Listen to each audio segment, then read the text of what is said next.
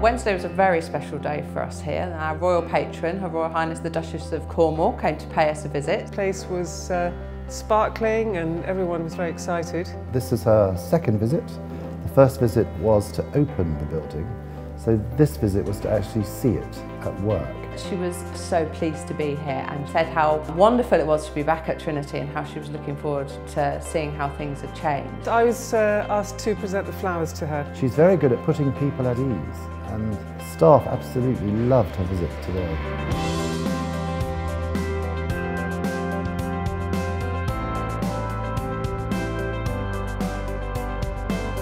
We came into this room and she just made a beeline straight to the table. She sat down right in the middle of the patients and immediately engaged with, with the patients and asked them what they were doing. And they were telling her what they were doing and why they were doing it and the benefits that they got from coming to Trinity. And she looked truly engaged.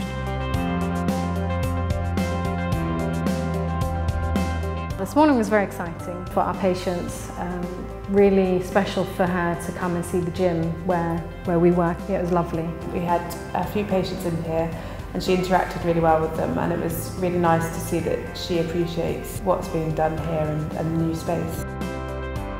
For the patients in particular, it was a really, really special time for the Duchess to come in and visit them personally and their family members that were visiting them that day.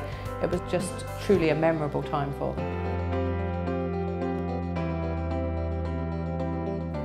Many, many thanks. I enjoyed a little chat.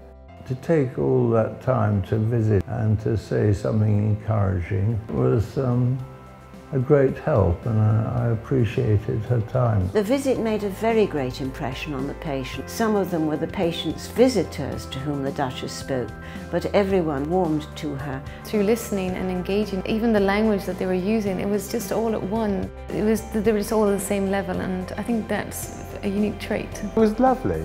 I mean, she's a lovely lady and she's a very famous lady and her presence today will be of great benefit to Trinity Hospice. It enabled me to reflect again on all the things I love about the hospice. I think she certainly made a difference to everyone's day today. I'd just like to thank everybody for keeping Trinity open. And to the staff at Trinity, I would just say thank you. You greeted the Duchess with, with grace and personality and really showed her what a splendid place this is. They're top notch.